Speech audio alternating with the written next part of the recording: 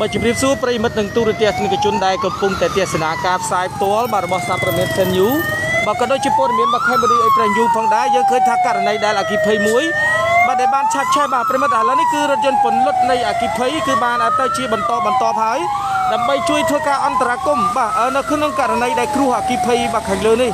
បាទហើយយើងតាមដានជាមួយនឹងខ្ញុំបាទទាំងអស់គ្នាបាទប្រិមិត្តឥឡូវនេះគឺខាងអន្តរាគមន៍ពន្លត់អគិភ័យបាទគឺមកចំនួន5គ្រឿងបាទជាបន្តបន្ទាប់ដើម្បីបាទជួយអន្តរាគមន៍បាញ់ពន្លត់នៅក្នុងគ្រោះអគិភ័យខាងលើនេះបាទប្រិមិត្តយើងឃើញថាផ្សាយឡើងខ្ពស់ខ្មាញ់តែម្ដងហើយទីតាំងនេះគឺនៅក្នុងបាទខណ្ឌដូនពេញបាទរាជធានីភ្នំពេញនេះតែម្ដងដែលគ្រោះអគិភ័យខាងលើនេះយើងអត់ទាន់ដឹងថាបណ្ដាមកពីអ្វីអត់ពិតប្រាកដទេហើយក៏សូមឲ្យបងប្អូនវិជាពលរដ្ឋទាំងអស់បាទមេត្តាប្រុងប្រយ័ត្នចំពោះផ្ទះបងប្អូនដែលនៅចិត្តចិត្តនេះ បាទសូមមេត្តាបាទបិទចរន្តបាននៃអគិសនីខាងលើនេះផងដែរ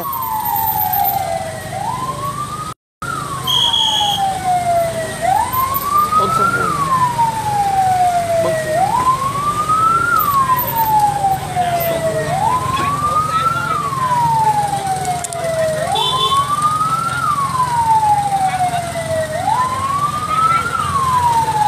បាទប្រិមិត្តឥឡូវនេះយើងឃើញថាខាង អន្តរាគមពលិតអគិភ័យ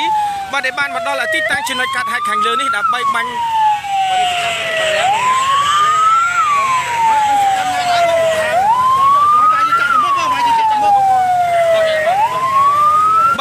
យើងឃើញថាខាងអន្តរាគមពន្លត់នៃអគិភ័យគឺមកដល់ទីតាំងកន្លែងកាត់ហេតុខាងលើនេះហើយបាទដើម្បីបាញ់ពន្លត់នៅក្នុងគ្រោះអគិភ័យខាងលើហើយដែលទីតាំងដែលស្ថិតនៅក្នុងបាទសង្កាត់អចតមុខខណ្ឌដុនពេញរាជធានីភ្នំពេញតែម្ដងបាទហើយយើងឃើញថាឆេះនេះគឺកន្លែងដែលទុកចោលនេះបាទយើងអត់ទាន់ដឹងថាបណ្ដាមកពីអ្វីឲ្យពិតប្រាកដផងដែរហើយកំពុងតែបង្កនៃការផ្ចាស់ផ្អើលមែនទែនពីសំណាក់បងប្អូនប្រជាពលរដ្ឋបាទ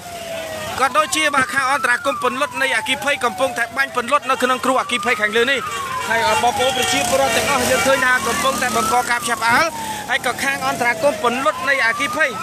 បាទដែលមកជាបន្តបន្តតែម្ដងបាទប្រយ័ត្នជើងបាទនេះបាញ់ឲ្យជើងក្រោមជើងក្រោម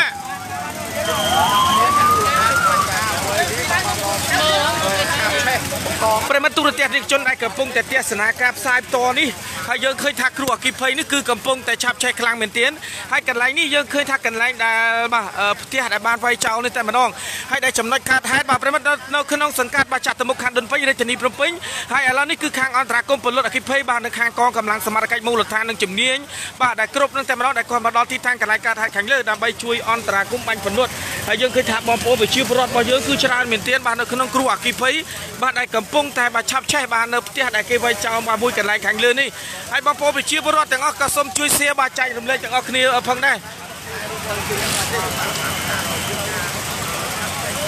ហើយករណីដែលអគិភ័យនេះយើងក៏មិនទាន់ដឹងថាបណ្ដាលមកពីអ្វីឲ្យពិតប្រាកដទេបាទ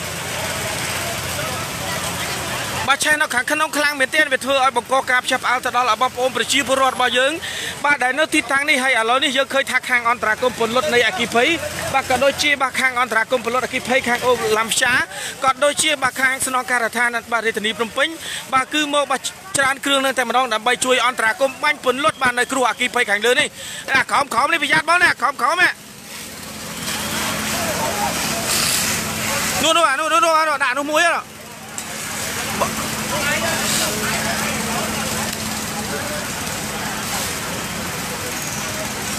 បងដាក់នោះរត់ផ្លូវរត់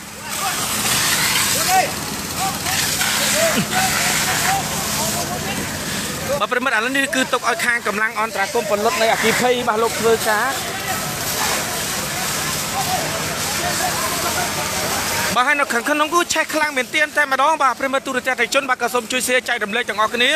បាទនៅក្នុងគ្រោះអគិភ័យបាទដែលកំពុងតែឆាប់ឆេះបាទហើយបងប្អូនប្រជាពលរដ្ឋនៅទីនេះ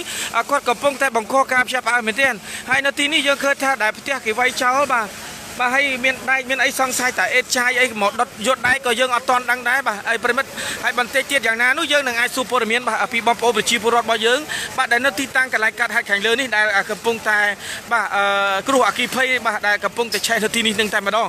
បាទហើយក៏សូមឲ្យបងប្អូនប្រជាពលរដ្ឋទាំងអស់បាទសូមបាត់ប្រែតបាទដែលផ្ទះលោកអ្នកនៅចិត្តនេះបាទវាអាចនឹងឆ្លងរីករាលដាលបានបាទហើយក៏សូមឲ្យបងប្អូនប្រជាពលរដ្ឋទាំងអស់បាទមេត្តាប្រុងប្រយ័ត្នទាំងអស់គ្នាផងដែរហើយឥឡូវនេះគឺខាងសមាជិកមូលដ្ឋានក៏ដូចជា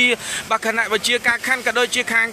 កម្លាំងបាទអន្តរាគមន៍ពលុតនៃអគិភ័យនេះបាទដែលគាត់មកជាបន្តបន្តដើម្បីជួយអន្តរាគមន៍បាញ់ពលុតនៅគ្រោះអគិភ័យបាទដែលកំពុងតែបាទឆាប់ឆេះបាទនៅទីតាំងកន្លែងកាត់ហែបតនេះតែម្ដងហើយឥឡូវនេះយើងឃើញថាវត្តមានបាទលោកអភិបាលនៃគណៈអភិបាលហ្នឹងក៏គាត់ចុះបាទមកទីតាំងដើម្បីបាទពិនិត្យមើលស្ថានភាពខាងលើនៅគ្រោះអគិភ័យបាទដែលកំពុងតែចាប់ឆេះនេះ បាទប្រិមិត្តដែលឆេះនេះគឺនៅទីតាំងដែលស្ថិតនៅក្នុងសង្កាត់អចតមុខខណ្ឌដូនពេញបាទរាជធានីភ្នំពេញនឹងតែម្ដងគឺនៅខាងក្រោយបាទផ្ទះបាទបងប្អូនវិជារដ្ឋកានេះជាច្រើនមែនទែ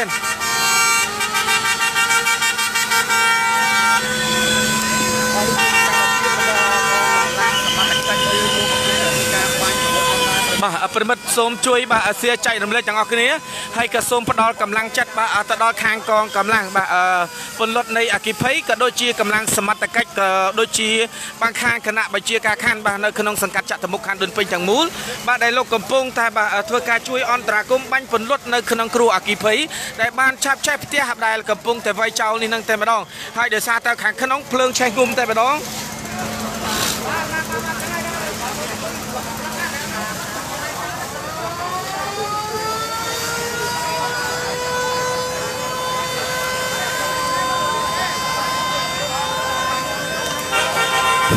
ប្រិមិត្តទូរទស្សនិកជនបាទសូមផ្ដល់ព័ត៌មានចែករំលែកទាំងអស់គ្នាហើយយើងឃើញថាខាងអន្តរាគមពន្លត់នៃអគិភ័យបាទក៏ដូចជាបងប្អូនប្រជាពលរដ្ឋរបស់យើងជាច្រើនផងដែរបាទកំពុងតែបាទបង្កការភ័យផ្អើលបាទហ្នឹងហើយបងទីតាំងចំណុចដែលកាត់ហើយខាងលើដែលនៅខាងក្រោយនឹងបាទខ្សែខាតដែលស្ថិតនៅក្នុងសង្កាត់បាទចាក់តមុខខណ្ឌដូនពេញបាទរាជធានីភ្នំពេញនេះតែម្ដង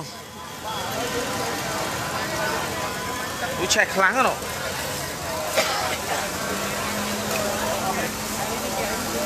ហេតចាយដុតអីក៏អី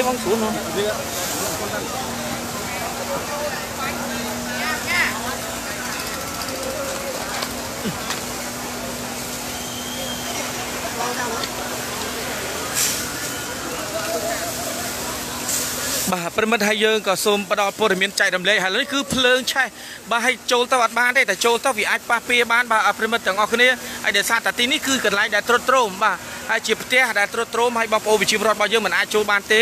ហើយឥឡូវនេះយើងឃើញថាខាងកងកម្លាំងអន្តរាគមពន្លត់នៃអគិភ័យក៏ដូចជាបាទខាងគណៈវិជាខាខាននិងដូចជាសមត្ថកិច្ចបាទមូលដ្ឋាន បាទដែលលោកកំពុងតែខ្នះខ្នែងមែនទែននៅក្នុងបាទការជួយ បាទអន្តរាគមពន្លត់នៅអគិភ័យខាងលើនៅខាងក្នុងនោះគឺខ្លាំងមែនទែនតែម្ដងនោះហើយដែលទីតាំងដូចខ្ញុំបាទបញ្ជាក់បាទប្រិមិត្តនៅក្នុងបាទសង្កាត់ចាក់តមុខហាណៅណៅអានេះផ្លូវម៉ានេះពីអសា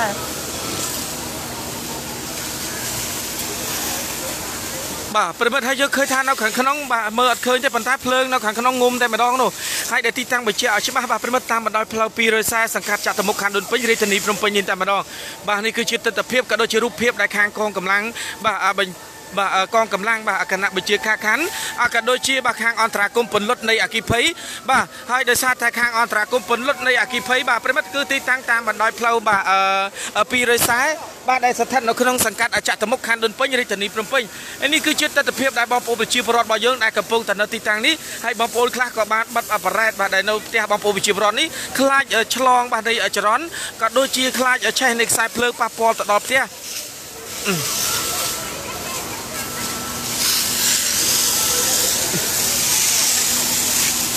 បាទសូមអធិស្ឋានបាទប្រិមិត្តដោយសារតែផ្សែងហុយពេកបាទហើយបងប្អូនប្រជាពលរដ្ឋបាទសូមបញ្ជាក់បាទម្ដងទៀតដល់ប្រិមិត្តនៅតាមបណ្ដោយផ្លូវ240សង្កាត់ចតុមុខខណ្ឌដូនពេញរាជធានីភ្នំពេញនោះ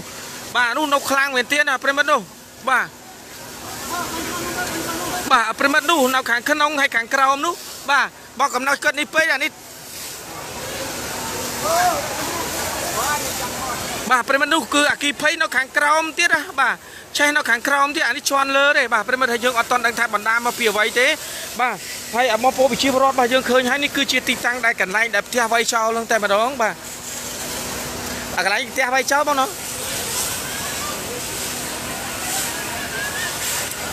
នោះបាទប្រិមិត្តក៏សូមផ្ដល់ព័ត៌មានចែករំលែកទាំងអស់គ្នាផងដែរបាទនៅក្នុងគ្រូអគិភ័យបាទដែលកំពុងតែឆាប់ឆេះផ្ទះបាទនៅជាប់ផ្ទះបងប្អូនវិជាពលរដ្ឋរបស់យើងនេះហើយដោយសារតែឥឡូវហ្នឹងគឺខាងអន្តរាគមពន្លត់នៃអគិភ័យបាទមុខបន្តបន្តនឹងតែម្ដងបាទដើម្បីជួយអន្តរាគមបាញ់ពន្លត់ហើយដោយសារតែស្ថានភាពនៅខាងក្នុងគឺបាទបន្តនៃការឆាប់ឆេះបាទខាងអន្តរាគមក៏បាញ់ក៏បានបាញ់ទប់ស្កាត់បាននៅគ្រូអគិភ័យហើយយើងចូលទៅអត់បានទេបាទនៅក្នុងករណីខាងលើនេះយើងអាចផ្សព្វផ្សាយពីខាងក្រៅបានដើម្បីផ្ដល់ព័ត៌មានមួយបាទសម្រាប់បងប្អូនវិជាពលរដ្ឋទាំងអស់ក៏ឲ្យជួយ share បានដើម្បីចែករំលែកទៅដល់បងប្អូនវិជាពលរដ្ឋទាំងអស់ក្រៃលោអាចប៉ះពាចិត្តនឹងផ្ទះបងប្អូនរបស់ពួកគាត់ហើយណាមួយទៀតគឺផ្ទះបងប្អូនរបស់យើងនៅតាមបណ្ដោយផ្លូវបាទ240នេះគឺកំពុងតែបិទបាននៃចរន្តបាទអគិសនីបាទប្រិមិត្តហើយបងប្អូនវិជាពលរដ្ឋទាំងអស់ក៏សូមផ្ដល់បាទជាព័ត៌មានចែករំលែកផងដែរនោះ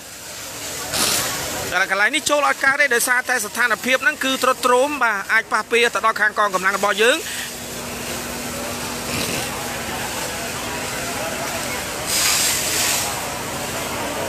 បាទដាក់នេះមកជួយមកបាទនេះនេះនេះនេះដាក់នេះមកជួយមកបាទប្រិមិត្តហើយយើងឃើញហើយនោះគឺជារូបភាពបាទនឹងទស្សនភាពឲ្យខាងកងកម្លាំងអន្តរាគមពលរដ្ឋអូបាញ់ធ្លាក់ទាំងដុំទាំងដុំបងកំចូលបងបងបងទីធ្លាក់លើនេះមកបងនេះនេះធ្លាក់លើនេះ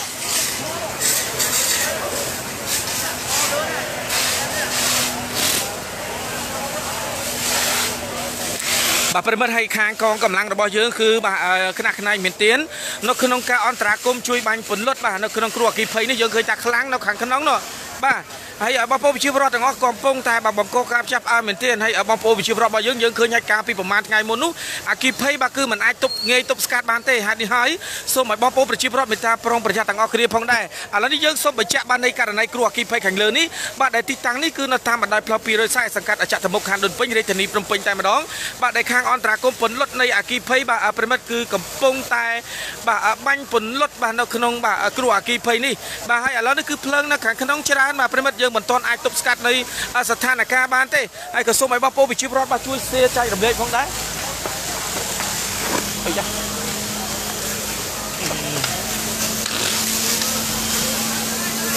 បាទនេះជាទស្សនវិជ្ជាបងប្អូនប្រជាពលរដ្ឋទាំងអស់បាទដែលកំពុងតែទស្សនា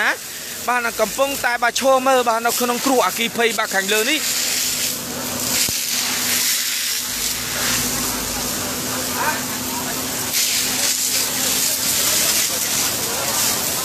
បាទប្រិមិត្តជួយផ្ដល់ជាព័ត៌មាន ចែករំលែកទាំងអស់គ្នាផងដែរនៅគ្រូអគិភ័យដែលខ្ញុំបាទកំពុងតែផ្សាយផ្ទាល់នេះតែម្ដងហើយបងប្អូនប្រជាពលរដ្ឋរបស់យើងយើងឃើញថាភ្លើងនោះបាទនៅខាងក្នុងគឺអត់តន់រលត់ទេបើវាឆេះនៅខាងក្រោមណាបាទវាឆេះនៅខាងក្រោមខ្លាំងបាទហើយនេះហើយទើបខាងអន្តរាគមពលុតនៃអគិភ័យក៏ដូចបងប្អូនវិជាវរដ្ឋក៏ដូចជាខាងគណៈបញ្ជាការខណ្ឌបាទក៏ដូចជាសមត្ថកិច្ចបាទមូលដ្ឋានបាទនៅក្នុងសង្កាត់ចតុមុខខណ្ឌដូនពេញហ្នឹងកំពុងតែជួយអន្តរាគមក្នុងការបាញ់ពន្លត់បាទនៅក្នុងគ្រូអគិភ័យនេះនៅខាងក្នុងបាទប្រិមិត្តយើងមើលស្ថានភាពឆេះខ្លាំងមែនទែន បាទហ្នឹងហើយអូនបងអត់បានទៅសេខាប់សិនក៏សូមអធិស្ឋានផងដែរបាទនៅល្ងាចបាទថ្ងៃទី21ខែបាទតុលាឆ្នាំ2020នេះតែម្ដងបាទក៏សូមអធិស្ឋានបាទហើយដែលខ្ញុំបាទអត់តន់ទៅសេខាប់សិននោះភ្លើងបាទប្រិមិត្តគឺកំពុងតែឆេះខ្លាំងមែនទែន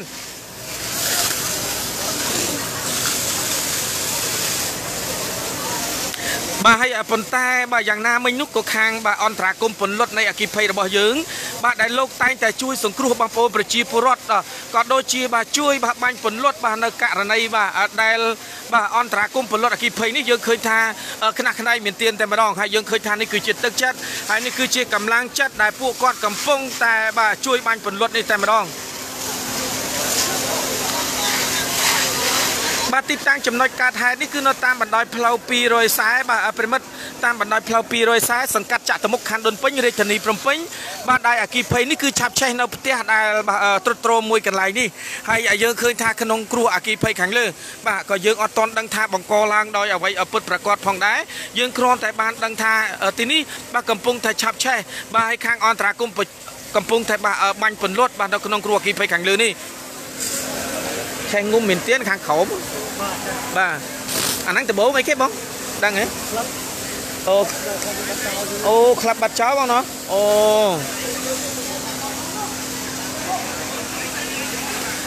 បាទហ្នឹងហើយដូចបងបានបញ្ជាក់បាទប្រិមិត្តគឺក្លាប់ដែលគេបាត់ចោលអានេះ បាទហើយយើងអត់តន់ដឹងថាក្លឹបអីប្រិមិត្តហើយសូមអធិស្ឋានផងដែរហើយឥឡូវនេះគឺទស្សនវិជ្ជាក៏ដូចជារូបភាពបងប្អូនវិជាបរដ្ឋរបស់យើងក៏ដូចជាកងកម្លាំងបាទប្រដាប់អាវុធក៏ដូចជាបាទខាងកងកម្លាំងបាទមូលដ្ឋានបាទទាំងអស់ដែលក្នុងសង្កាត់ចតុមុខខណ្ឌដូនពេញនេះហើយក៏ខាងអន្តរាគមពលុតនៃអគិភ័យបាទស្នងការរាជធានីភ្នំពេញក៏ដូចជាទីក្រុងកោះពេជ្រក៏ដូចជាបាទទីក្រុង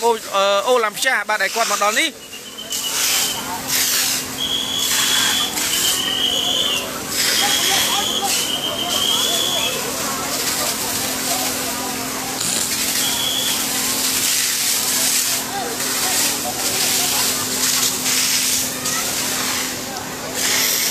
បាទប្រិមិត្តឥឡូវនេះគឺភ្លើងនៅតែបន្តឆាប់ឆេះបាទក្លឹបនេះគឺក្លឹបដែលគេបាទបាត់ចោលយូរហើយបាទប្រិមិត្តទីតាំងបាទនៅតាមបណ្ដោយផ្លូវបាទ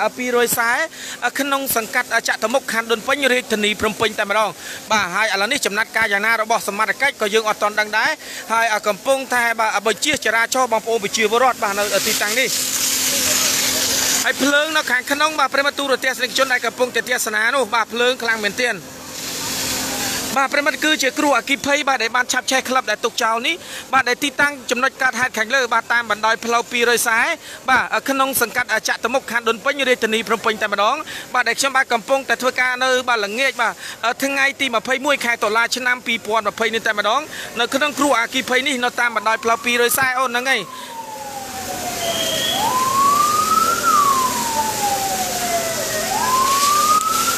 បាទហើយឥឡូវនេះគឺខាងអន្តរាគមពន្លត់នៃអាគិភ័យគឺមកជាបន្តបន្តបាទដើម្បីជួយអន្តរាគមហើយបាទប្រិមិត្តយើងឃើញនៅគឺសមោលគឺភ្លើងគឺនៅតែឆេះបាទហើយក៏សូមបាទមេត្តាប្រុងប្រយ័ត្នទាំងអស់គ្នាផងដែរហើយយើងឃើញថាការបាទបាញ់ពន្លត់ក៏ដូចជាគណៈខ្នែងចំពោះបាទខាងកងកម្លាំងបាទបញ្ជាការខណ្ឌក៏ដូចជាបាទខាងអន្តរាគម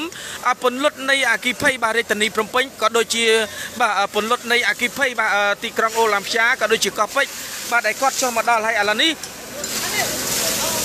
បាទយើងឃើញថាវត្តមានបាទលោកអភិបាលនៃគណៈអភិបាលបាទលោកដែលចុះមកដល់បាទទីតាំងចំណុចកាត់ហេតុខាងលើនេះដើម្បីពិនិត្យនៃស្ថានភាពនៃគ្រោះអគ្គិភ័យដែលកំពុងតែឆាប់ឆេះបាទក្លឹបទុកចោលនៅតាមបណ្ដោយផ្លូវ240ខាងលើនេះហើយបងប្អូនប្រជាពលរដ្ឋទាំងអស់មេត្តាប្រុងប្រយ័ត្នទាំងអស់គ្នាផងដែរហើយភ្លើងគឺបានបាញ់តែពីខាងក្រៅសិនទេបាទនៅខាងក្នុងនោះយើងក៏អត់ដឹងថាមានផ្ទុកអ្វីខ្លះ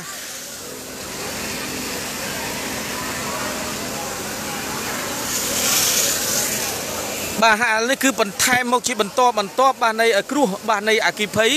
បាទហើយយើងឃើញហើយនេះគឺជាទស្សនវិជ្ជារូបភាពតែម្ដងបាទប្រិមិត្តបាទនោះនៅតែឆេះបាទប្រិមិត្តជួយ share ទាំងអស់គ្នាផង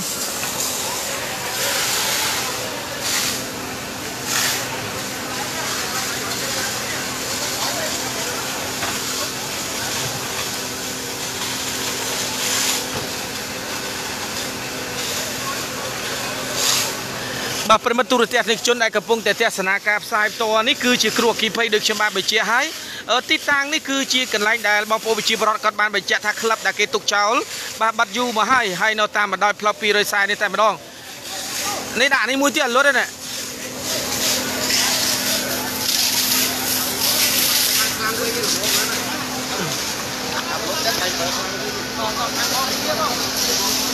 បាទ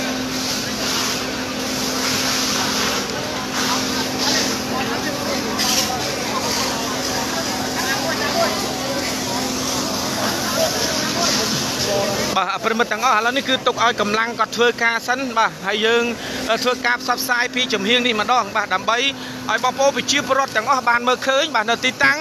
បាទផ្ទាល់បាទប្រិមិត្តទាំងមុខទាំងក្រោយអូកន្លែងនេះគេដាក់ក្លឹប55បាទប្រិមិត្តនេះបាទក្លឹបកំសាន្ត55តែម្ដង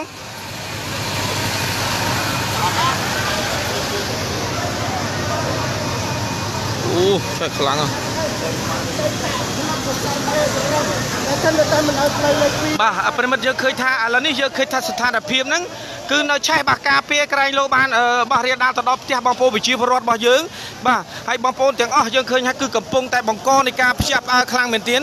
ពីសំណាក់បងប្អូនប្រជាពលរដ្ឋទាំងអស់ដែលកំពុងតែទស្សនាការផ្សាយផ្ទាល់បាទនៅព័ត៌មានបាទ Sen News ក៏ដូចជាសារព័ត៌មានបាទ Cambodia Express News ផងដែរបាទផ្សាយនៅបាទល្ងាចបាទថ្ងៃទីបាទ21ខែតុលាឆ្នាំ2020បាទហើយឥឡូវនេះគឺការពារក្រែងលោរៀលដល់ផ្ទះបងប្អូនប្រជាពលរដ្ឋរបស់យើងនៅទីនេះបាទប្រិមិត្ត សតសតសតសតប៉ុន្តែបាញ់ការពារផ្ទះសិនណា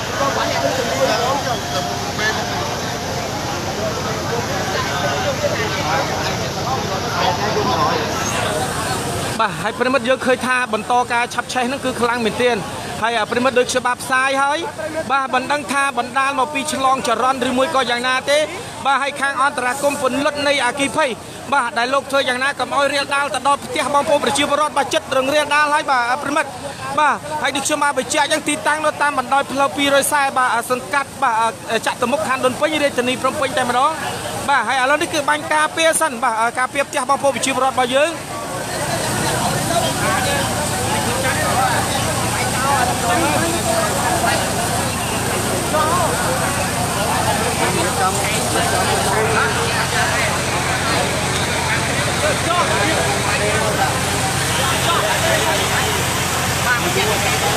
បាទទីតាំងប្រិមិត្តគឺតាមបណ្ដោយផ្លូវ240បាទសង្កាត់ចតុមុខខណ្ឌដុនពេញរាជធានីភ្នំពេញតែម្ដងបាទចាហ្នឹងអានេះបើចំណាក់ការໄວអានេះចូលបាញ់បានណាបងនេះអូអ៊ីសាវាអត់ប្រយោជន៍អូ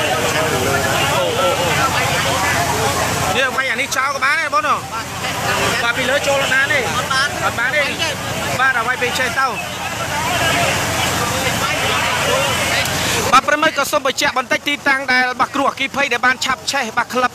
55បាទដែលតាមបណ្ដោយផ្លូវ240បាទសង្កាត់ចតុមុខខណ្ឌដុនពេញរាជធានីភ្នំពេញបាទយើងឃើញថាឥឡូវនេះគឺអគិភ័យខាងលើនេះគឺឆេះនៅខាងលើហើយយើងអត់ទាន់ដឹងថាស្ថានភាពបាទនៃភ្លើងគឺកំពុងតែឆេះនៅជាតិជោអ្វីឬក៏អ្វីផ្សេងក៏យើងអត់ទាន់ដឹងដែរបាទនេះគ្រាន់តែបាញ់ការផ្ទះការពារផ្ទះបងប្អូនប្រជាពលរដ្ឋរបស់យើងបាទដែលនៅជាប់នឹងបាទក្លឹបកំសាន្ត55 ដែលបិទបាទទុកចោលនេះតែប៉ុណ្ណោះហើយឥឡូវនេះដល់មានបាទវិធីសាស្ត្រមួយគឺប្រើអាបុលបាទប្រិមិត្តដើម្បីវាយបំបែកបាទនៃជញ្ជាំងនេះដើម្បីងាយស្រួលបាទប្រិមិត្តបាទបាទប្រិមិត្តស្រាប់តាមគឺគេលោកនេះបងប្អូនលោកយើងគឺទៅជុំយើងទៅបណ្ដោយផ្លូវហ្នឹងគាត់ផ្ទះផ្ទះអាខាងគាត់នៅហ្នឹងអញ្ចឹងគាត់អាចដល់ទាន់ពេលវេលាគឺថាវាផ្សាយឲ្យទៅដែរដល់ទាន់ពេលដល់ចេញវិញហើយមានគាត់បាច់បាទបាច់ទុំបាទបាច់ទុំ បាទហើយឥឡូវនេះយើងឃើញថាខាងអន្តរាគមពន្លត់នៃអគិភ័យក៏ដូចជាបាទខាងគណៈបញ្ជាការខណ្ឌបាទឯកភាពបាទសង្កាត់ចតុមុខខណ្ឌដុនពេញបាទក៏យកបាទនៃបាទធុងបាទដើម្បីធ្វើយ៉ាងណាជួយបាទទប់ស្កាត់នៃផ្ទះបងប្អូនប្រជាពលរដ្ឋដែលកំពុងតែបាទជាប់នឹងកន្លែងក្លឹបនេះឆេះនឹងតែម្ដងបាទប្រិមិត្តទាំងអស់គ្នា ហើយវាយឡើងនឹងចោលបានបានទេកាយគាត់ឲ្យយកអេសកាកាយបាទបាទអេសកាគាត់ចូលទៅយកមកទេ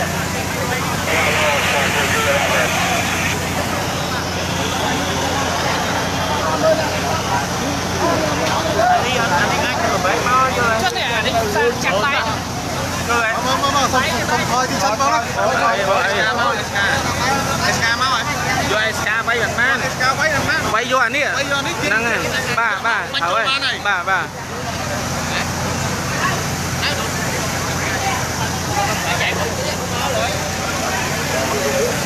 ប្រិមិត្តឥឡូវនេះគឺកំពុងតែបង្កការចាប់ឲ្យខ្លាំងមែនទែនពីសំណាក់បងប្អូនប្រជាពលរដ្ឋហើយដោយសារតែមកផ្ទាល់បាទ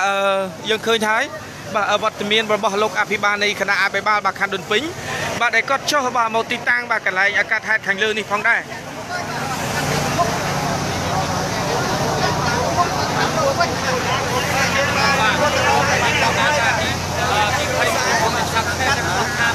ចាក់ត្រឹមអឺ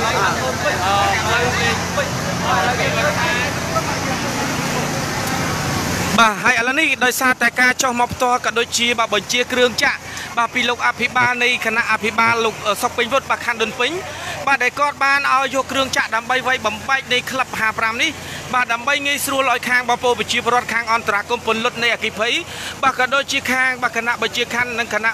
បញ្ជាខណ្ឌខណ្ឌដុនពេញបាទហើយនឹងបងប្អូនប្រជាពលរដ្ឋនិងសមត្ថកិច្ចបាទយើងកំពុងតែបាទជួយទប់ស្កាត់បាទនៃផ្ទះបងប្អូនប្រជាពលរដ្ឋរបស់យើងដែលកំពុងតែរងជាប់បាទនៅទីនេះនឹងតែម្ដង បាទហើយទីនេះដូចខ្ញុំបានបញ្ជាក់អញ្ចឹងគឺទីតាំងនេះគឺក្លឹបកំសាន្ត55ដែលបងប្អូនវិជាវរដ្ឋធ្លាប់បានដឹងហើយដែលបាត់ចោលបាទមួយរយៈហើយឥឡូវនេះគឺកំពុងតែបាទឆ្លងចរន្តឬមកក៏ជាបាទករណីអ្វីផ្សេងបាទផ្ទុះផ្សេងយ៉ាងណាក៏យើងមិនទាន់ដឹងដែរហើយដែលទីតាំងនេះគឺនៅតាមបណ្ដោយផ្លូវ240បាទក្នុងបាទសង្កាត់ចតុមុខខណ្ឌដុនពេញរាជធានីភ្នំពេញនេះហើយក៏សូមឲ្យបងប្អូនជួយផ្ដល់ជាព័ត៌មាន share ចែករំលែកក្រែងលោកបងប្អូនប្រជាពលរដ្ឋបាទផ្ទះនៅជាប់នេះបាទហើយក៏សូមឲ្យបងប្អូនហ្នឹងគឺបាទបិទបប្រែដូចជាចរន្តភ្លើងទាំងអស់បាទវាអាចនឹងប៉ះពាល់បាទទៅដល់អផ្ទះលោកអ្នកបាទហើយយើងឃើញហើយនេះគឺជាទស្សនវិជ្ជាក៏ដូចជារូបភាពកងកម្លាំងក៏ដូចជាខាងអន្តរាគមពលុតនៃអគិភ័យបាទក៏ដូចជាសមត្ថកិច្ចបាទមូលដ្ឋានបាទនៅក្នុងបាទសង្កាត់ចាក់តមុខខណ្ឌដុនពេញផ្ទាល់ដែលគាត់ចុះបាទមកដល់នេះដោយសារតែបាទបញ្ជាផ្ទាល់តែម្ដងបាទប្រិមិត្តគឺបាទលោកអភិបាលនៃគណៈអភិបាលបាទលោកសុកពេញវុតបាទនៅខណ្ឌដុនពេញតែគាត់ចុះមកដល់ដើម្បីមើលនៃទស្សនវិជ្ជាបាទនៅក្នុងគ្រោះអគិភ័យខាងលើនេះតើអាចបន្តឆាប់ឆេះទៅដល់ផ្ទះបងប្អូនអត់បាទហើយឥឡូវនេះគឺបាទយកគ្រឿងចាក់បាទប្រិមិត្តដើម្បីបាទយកមកវាយបាទទម្លុះបាទ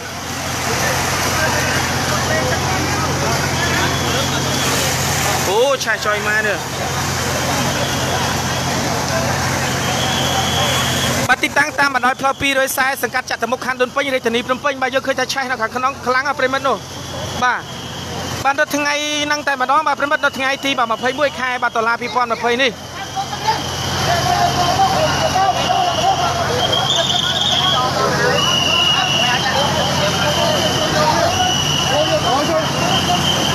បាទប្រិមិត្តឥឡូវនេះគឺបន្ថែមគ្រឿងចាក់យកមកវាយតែម្ដងបាទប្រិមិត្តទូរទស្សន៍នេះជន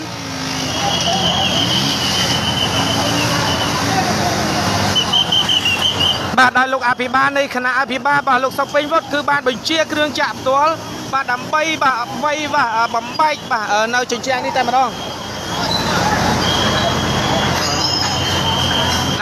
ហ្នឹងហ្នឹងហ្នឹងវាយហ្នឹងត្រូវណា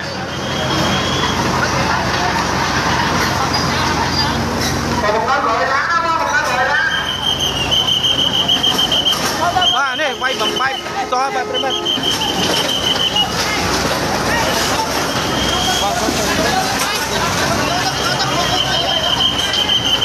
បាទឥឡូវ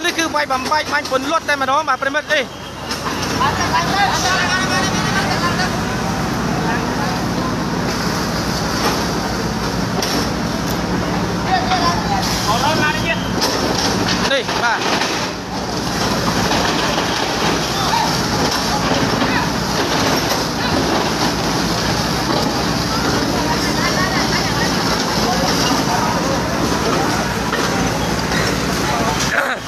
បាទប្រិមិត្តឥឡូវនេះគឺវាយកំតិចចោលតែម្ដងបាទប្រិមិត្តដើម្បីងាយស្រួលបាញ់ពន្លត់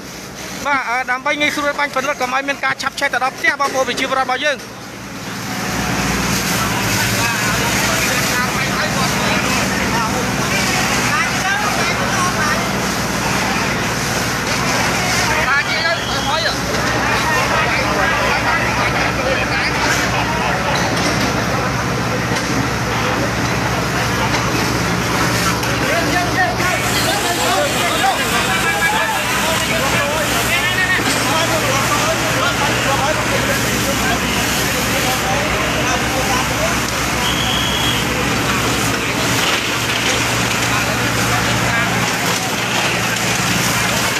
បាទប្រិមិត្តឥឡូ វនេះគឺវាយបំបែកចោលដោយសារតែនិយាយអត់រួចបាទប្រិមិត្តហុយពេកបាទសូមអធិស្ឋានឥឡូវនេះគឺវាយចោលទាំងស្រុងដើម្បីបាញ់ពន្លត់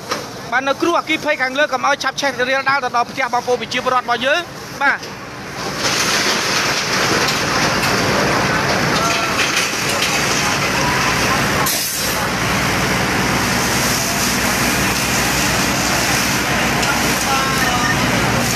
ម៉ែអើយបើសាច់ទេបង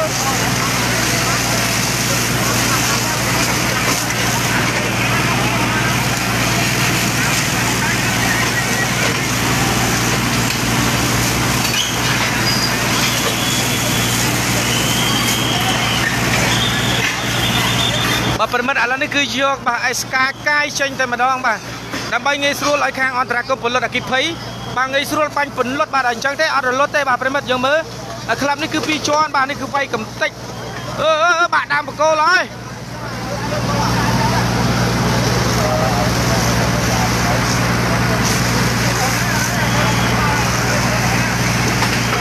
អូអូទៅត្រូវហ៎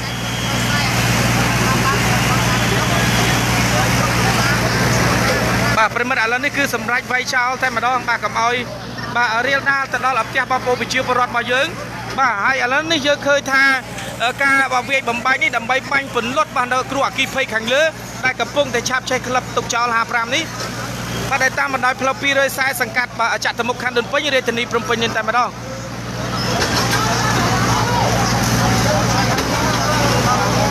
អង្គើលេងនេះអូអូ ប៉ះពាល់លេងនេះហើយនេះនេះនេះទៅណោះ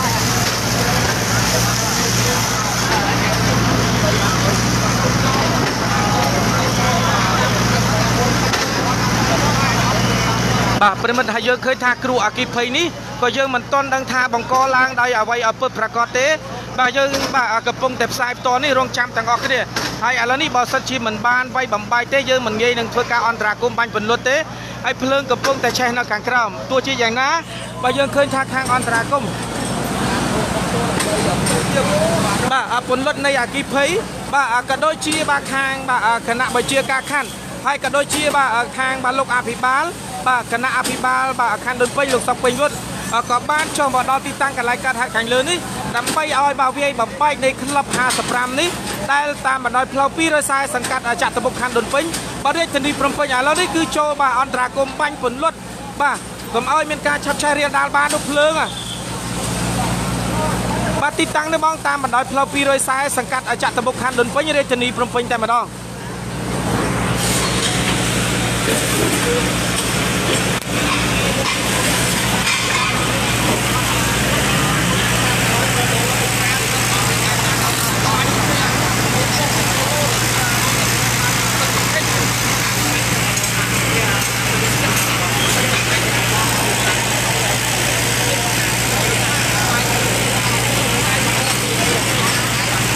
បាទប្រិមិត្តទាំង អស់បាទហើយឥឡូវនេះយើងឃើញថាស្ថានភាពនៅឆេះនៅខាងក្នុងបាទ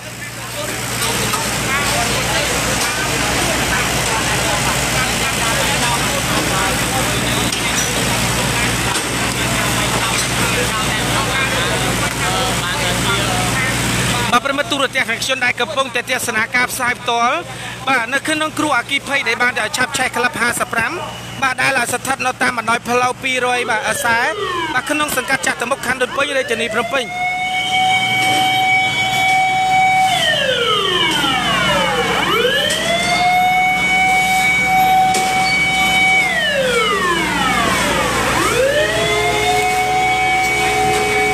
បាទប្រិមិត្តហើយនៅក្នុងគ្រូអគិភ័យយើងក៏មិនទាន់ដឹងថាឆាប់ឆេះដោយសារអ្វីទេ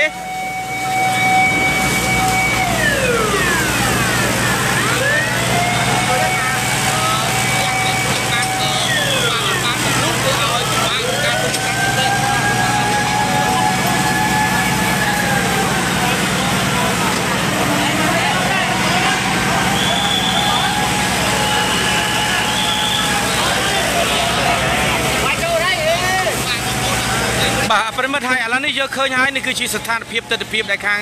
បាទអន្តរាគមផលិតនៃអគិភ័យបាទកំពុងតែបាញ់បាទបញ្ជោបាទដើម្បីឲ្យងាយស្រួលបាទពន្លត់កុំឲ្យមានការបាទឆាប់ឆេះបាទទៅដល់ផ្ទះបងប្អូនប្រជាពលរដ្ឋរបស់យើង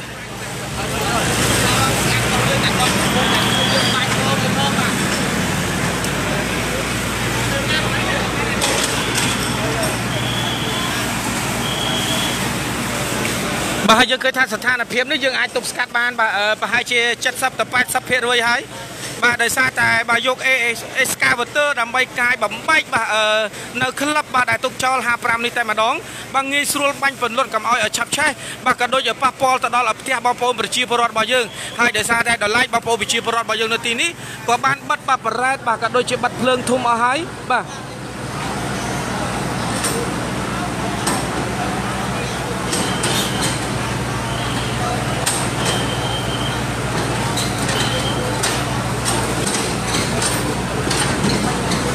បាទប្រិមត្តទូរទស្សនិកជនដែលកំពុងតែទស្សនានេះគឺជាបាទទស្សនវិជ្ជាដែលកងកម្លាំងយើងកំពុងតែជួយបាទអន្តរាគមបាញ់ពន្លត់បាទហើយយើងឃើញហើយនេះគឺជាទស្សនវិជ្ជាបាទដែលបាទធ្វើយ៉ាងណាដើម្បីជួយបាទទៅដល់បងប្អូនប្រជាពលរដ្ឋកុំឲ្យមានការឆាបឆេះបាទនឹងរៀនដាលបាទទៅដល់ផ្ទះបងប្អូនប្រជាពលរដ្ឋរបស់យើងដទៃទៀតហើយឥឡូវនេះយើងឃើញថាស្ថានភាពបាទដែលយកអេសកាវ៉ូទ័រដើម្បីកាយហើយយើងឃើញថាស្ថានភាពហ្នឹងគឺអាចទប់ស្កាត់បានបាទ70ទៅ80%ហើយ ហើយនៅក្នុងស្ថានភាពខាងលើនេះក្នុងឆាប់ឆេះដែលនៅក្នុងក្លឹបអាហារ55 ដែលយើងមិនទាន់ដឹងថាបណ្ដាមកពីបាទឆ្លងចរន្តឬមួយក៏ករណី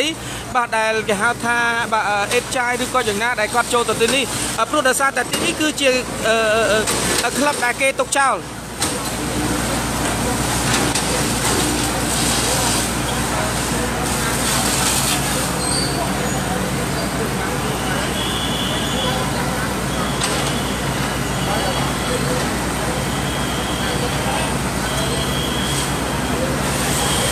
បាទហើយឥឡូវនេះយើងឃើញថាស្ថានភាពហ្នឹងគឺអាចទប់ស្កាត់បានហើយបាទអ่าប្រិមិត្តហើយក៏សូមអរគុណទៅដល់ខាងកងកម្លាំងបាទដែលគាត់តែងតែបាទជួយសង្គ្រោះបាទទៅលើផ្ទះបងប្អូនប្រជាពលរដ្ឋក៏ដូចជាជួយសង្គ្រោះបងប្អូនប្រជាពលរដ្ឋតែម្ដង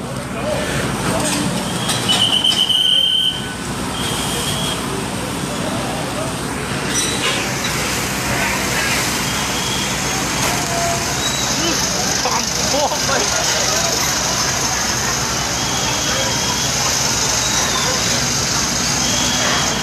បាទ ហ្នឹងហើយបងទីតាំងតាមបណ្ដោយផ្លូវ240ដែលស្ថិតនៅក្នុងបាទសង្កាត់អចតមុខខណ្ឌដូនពេញបាទរាជធានីភ្នំពេញនេះតែម្ដងដោយគ្រូអគិភ័យឆេះក្លឹប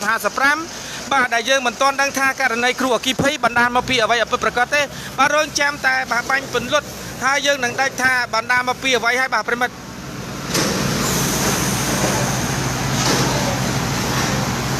ចុះ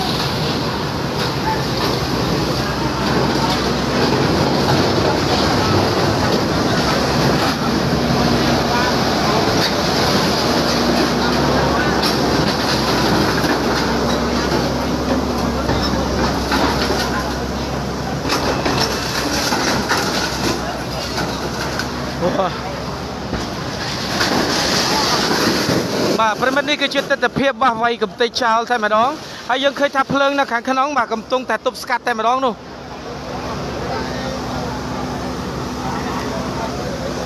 បាទហើយឥឡូវនេះយើងឃើញថាបងប្អូនប្រជាពលរដ្ឋរបស់យើងគឺច្រើនមែនទែនមានការប្រញាប់ផ្អើលបាទនៅក្នុងគ្រូអគិភ័យដែលបានឆាប់ឆែកក្លឹប55ដែលតាមបណ្ដោយផ្លូវបាទ240ស្ថិតនៅក្នុងសង្កាត់ចតុមុខខណ្ឌដូនពេញនេះហឹមដល់អញ្ចឹងមកលត់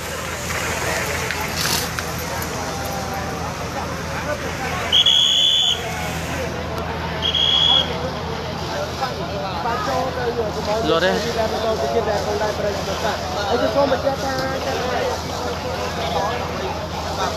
បាទហើយក៏សូមបាទផ្ដល់ជាព័ត៌មានចែករំលែកមួយបាទប្រិមត្តទូរទស្សនិកជនទាំងអស់ដែលកំពុងតែទស្សនាការផ្សាយផ្ទាល់បាទនៃគ្រូអគិភ័យដែលបានឆាប់ឆេះបាទក្លឹប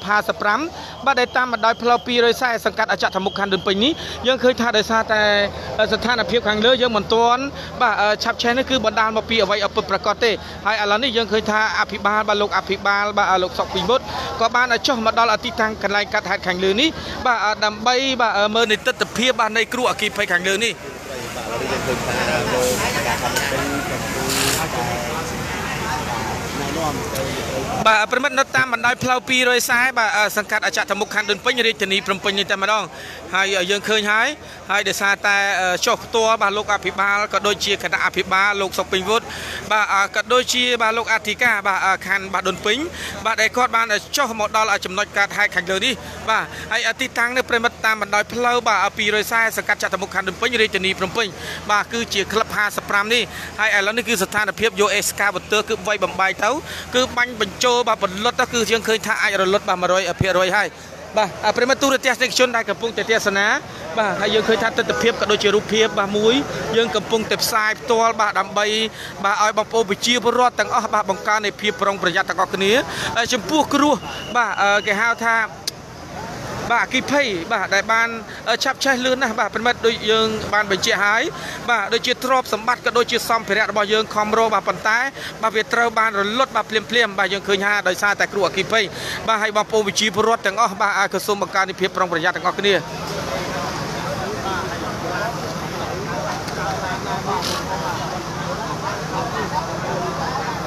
បាទហ្នឹងហើយអូននៅម្ដុំសាស៊ីឡាប់នឹងតែម្ដងតាមបណ្ដោយផ្លូវ240សង្កាត់អចតមុខខណ្ឌដូនពេញរាជធានីភ្នំពេញហើយឥឡូវនេះគឺស្ថានភាពបាទនៃគ្រោះអគ្គិភ័យខាងលើគឺបាទទប់ស្កាត់បាន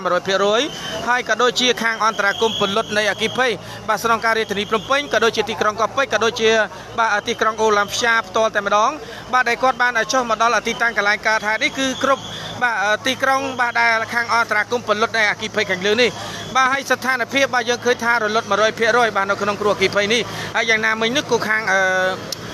សមត្ថកិច្ចក៏ដូចជាបាទលោកអភិបាលក៏សូមឲ្យវាយបាទនៅក្លឹបទីតាំងនេះចោលបាទដើម្បីកុំឲ្យបាទឆាប់ឆេះរាលដាលម្ដងទៀតដើម្បីយើងឃើញហើយបើសិនជាយើងមិនបាទវាយកំទេចចោលទេវានឹងអាចកកើតឡើងដូចជាងងើកហើយក៏ដូចជាឆេះបន្តបន្តទៀតបាទនេះគឺជារឿងមួយដែលល្អបាទហើយឥឡូវនេះគឺខាង excavator ដើម្បីចូលមកនេះគឺវាយកំទេចចោលតែម្ដង បានដែរតែគាត់មានការបាញ់ទប់បាញ់រារាំងបាញ់ស្កាត់បាញ់កាត់មិនឲ្យអត់ដាក់ធ្វើឬក៏បាត់ទៅ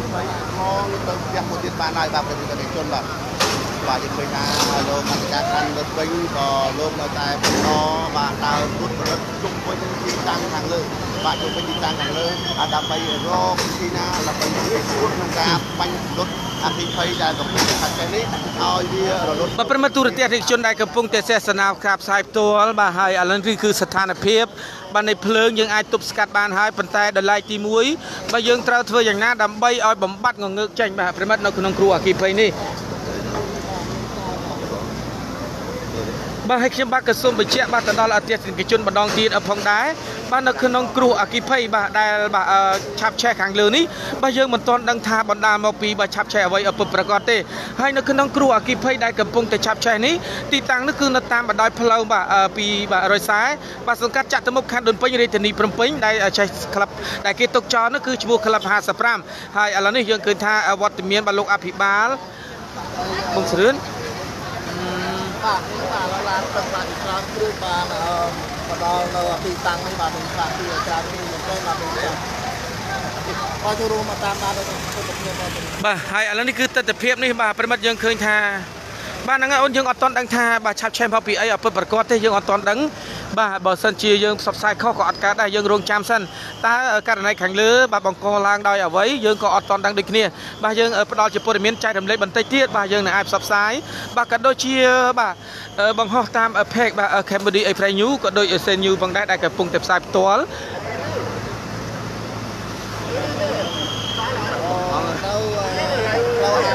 ទៅផ្លូវ 55កែបាទប្រិមត្តទូរទស្សនិកជនដែលបាទតាមដាននេះទស្សនាទាំងអស់គ្នា បាទទស្សនវិជ្ជាក៏ដូចជារូបភាពផងដែរបាទ channel មុននេះបន្តិចផងដែរបងអីបងប្រហែលជាកន្លះប្រហែល5កន្លះបាទហ្នឹងហើយហើយឥឡូវនេះគឺម៉ោងបាទ ម៉ោង6ម៉ោង18នាទីហើយគ្រោះអគ្គិភ័យនេះគឺប្រហែលជាម៉ោង5កណ្ដាស់ដែលយើងទទួលបាននោះហើយឥឡូវនេះយើងឃើញថាខងកម្លាំងសមត្ថកិច្ចក៏ដូចជាបាទមន្ត្រីបាទក្រមបាទជាន់ថ្នាក់ក៏ដូចជាលោកអភិបាលនៃគណៈអភិបាលបាទដែលគាត់បានចុះមកដល់អធិតាំងចំណុចកាត់ហេតុអីដើម្បីពិនិត្យមើលស្ថានភាពបាទក៏ដូចជារូបភាពនៅក្នុងគ្រោះអគ្គិភ័យខាងលើតើបាទបណ្ដាលមកពីអ្វីអពិតប្រកបនឹងអាចបញ្ជាក់បាទទៅដល់បងប្អូនប្រជាពលរដ្ឋឬក៏បងប្អូនដែលកំពុងតែទស្សនាផ្ទាល់នេះតែម្ដងហើយឲ្យបងប្អូនជួយចែករំលែកទាំងអស់គ្នាបាទនៅក្នុងគ្រូអគិភ័យដែលយើងកំពុងតែផ្សាយផ្ទាល់បាទនៅបាទយប់ថ្ងៃទីបាទ21ខែតុលាឆ្នាំ2020នឹងតែម្ដងបាទនៅតាមបណ្ដោយផ្លូវ240ក្នុងសង្កាត់ចតុមុខខណ្ឌពេញរាជធានីភ្នំពេញនេះហើយឥឡូវនេះយើងឃើញថាស្ថានភាពយើងឃើញថាអាចទប់ស្កាត់បាន100%ហើយបាទហើយដល់ឡែកមួយទៀតដោយសារតែ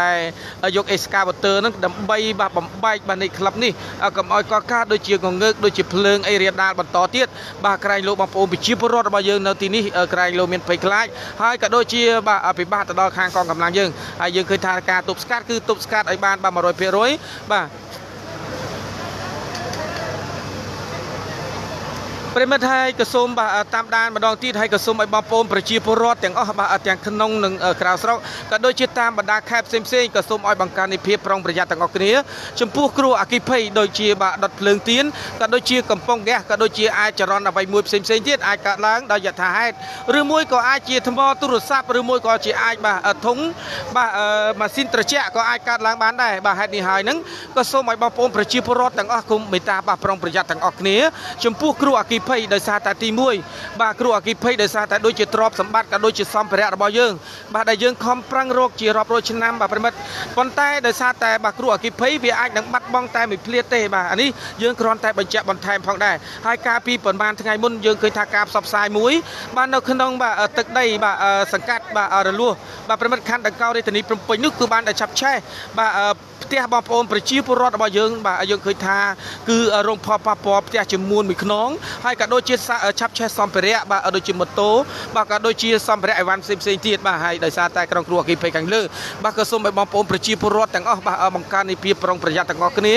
បាទហើយនៅក្នុងបាទករណីផ្សេងផ្សេងបាទដែលកាត់ឡើងដោយអយថាហេតុដូចខ្ញុំបាទបញ្ជាក់ទៅដល់អតិថិជនបាទនៅយប់ថ្ងៃនេះនឹងតែម្ដងគឺថ្ងៃទី21ខែតុលាឆ្នាំ2020បាទនៅគ្រួអគិភ័យឆេះក្លឹប55តាមបណ្ដោយផ្លូវ240សកាត់ចិត្តមុខខណ្ឌដុនពេញរាជធានីភ្នំពេញនេះហើយឥឡូវនេះយើងឃើញថាស្ថានភាពក៏ដូចជារូបភាពខាងលើគឺអាចទប់ស្ថានភាពបាន100%ហើយគឺមិនមានចិញ្ចៀអណ្ដាតទេបាទវានៅតែងងើកបាទប្រិមិត្តចែកប៉ុន្មានបងហើយបង បាទម៉ោង5ប្រហែលជាកន្លះម៉ោងជាងហ្នឹងហើយអូនគឺការឆាប់ឆេះនេះគឺកន្លះម៉ោងជាងចូល1ម៉ោងហ្នឹងប៉ុន្តែស្ថានភាពហ្នឹងគឺមិនរៀលដាល់ទៅដល់ផ្ទះបងប្អូនប្រជាពលរដ្ឋដទៃទេបាទយើងឃើញថាឆាប់ឆេះតែក្លឹបបាទ55នេះបាទតែប៉ុណ្ណោះប៉ុន្តែនៅក្នុងឆេះនេះបាទយើងក៏មិនដឹងថាឆេះនៅក្នុងហ្នឹងមានអ្វីខ្លះក៏យើងអត់ដឹងដែរបាទប្រិមិត្តទាំងអស់គ្នាបាទហើយក៏សូមឲ្យបងប្អូនប្រជាពលរដ្ឋទាំងអស់ដោយខ្ញុំបាទបញ្ជាក់អញ្ចឹងបាទក៏បង្កើននៃភាពប្រុងប្រយ័ត្នទាំងអស់គ្នាបាទធ្វើបាទ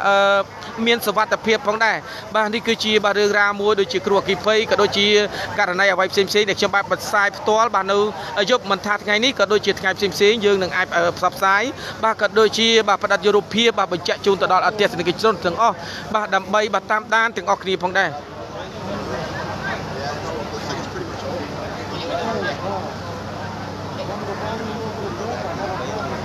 ទៅបាយខ្លាយអីអត់មានមើលអីសោះហើយដល់នេះ នេះនៅនៅតាមបណ្ដោយផ្លូវ55កែងនៅ240កាត់ចាក់ពេញបាទហើយក៏សូមអរគុណផងដែរនឹងឯអូនសម្រាប់ការតាមដានក៏ដូចជាខមមិនសួរដើម្បីផ្ដល់ព័ត៌មានចែករំលែកក៏ដូចជាបងប្អូនប្រជាពលរដ្ឋទាំងអស់ដែលតែងតែនិយមគ្រប់គ្រងបាទ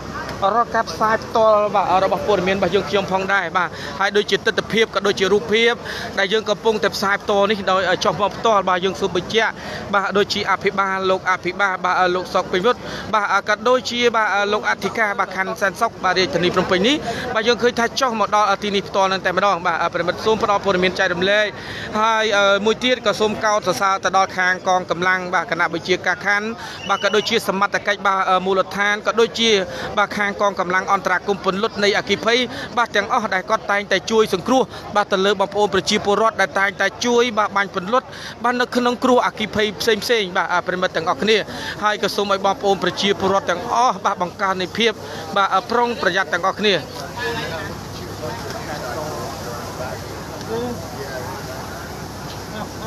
េះ បាទប្រិមត្តទីតាំងនេះនៅតាមបណ្ដោយផ្លូវបាទ240សង្កាត់អចតមុខខណ្ឌដុនពេញរាជធានីភ្នំពេញតែម្ដងអូនហ្នឹងហើយ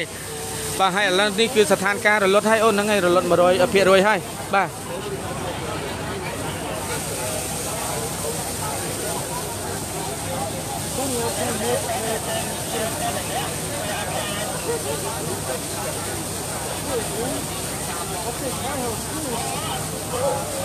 បាទហ្នឹងហើយអរគុណផងដែរអូនហើយក៏សូមចែករំលែកទាំងអស់គ្នាផងដែរហើយយើងកំពុងតែផ្សាយនេះ បាទហ្នឹងហើយពេលខ្លះបានព័ត៌មានដែលផ្សព្វផ្សាយបាទបញ្ជាក់ជូនទៅដល់បងប្អូនប្រជាពលរដ្ឋបាទដូចជាករណីអគិភ័យបាទក៏ដូចជាករណីឃាតកម្មក៏ដូចជាករណីអ្វីផ្សេងផ្សេងដែលកើតឡើងនៅរាជធានីភ្នំពេញបាទក៏ដូចជាបណ្ដាខេត្តបាទមួយចំនួនផ្សេងផ្សេងទៀតបាទបើសិនជាកើតឡើងក៏ដូចជាព័ត៌មានយើងខ្ញុំបាទនឹងអាចផ្សព្វផ្សាយជូនបាទក៏ដូចជាបញ្ជាក់បាទនៃទស្សនវិជ្ជារូបភាពបាទទៅដល់បងប្អូនប្រជាពលរដ្ឋទាំងអស់ផងដែរ